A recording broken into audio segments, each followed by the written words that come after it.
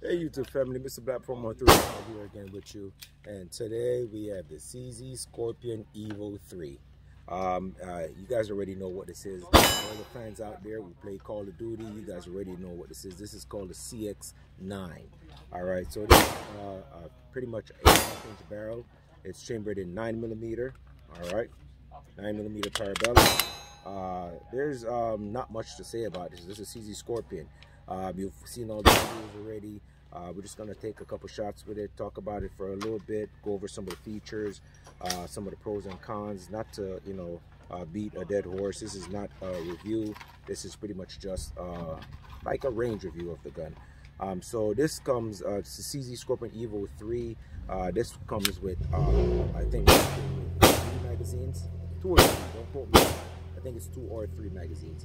So, um, and they're 20 rounders. They've made some 30 rounders, but uh, there are drum magazines out there.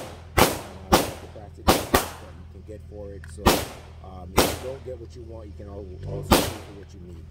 Um, this one comes with an extreme angle pistol grip. A lot of people uh, like the grip that it comes with, but I really have no problem with it. Um, there's a lot of aftermarket there that you can go in and change but uh, but the one that this comes I'm pretty much okay with. Um, sorry about that. So this comes with like an extreme um, angled grip. A lot of people don't really like it. So one of the first things that a lot of the people do, they change this out to a more uh, uh, vertical grip. And um, that's something that I might actually do in the future. But so far, um, with what I use it for, range time, home defense, I think it's perfectly fine.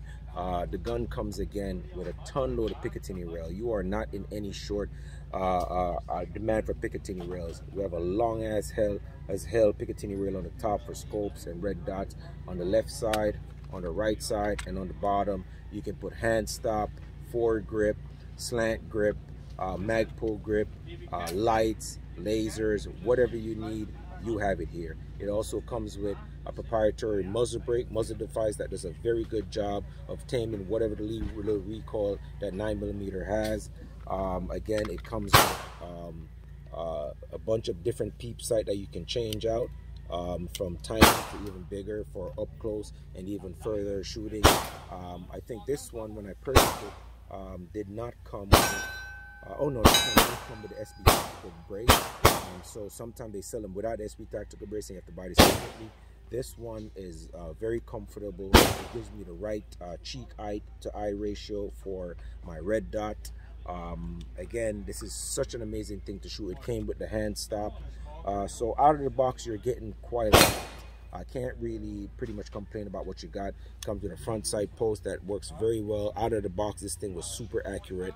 Uh, I don't think I've adjusted the iron sights any since I purchased the weapon. And if you guys know anything about a CZ Scorpion, it shoots amazing.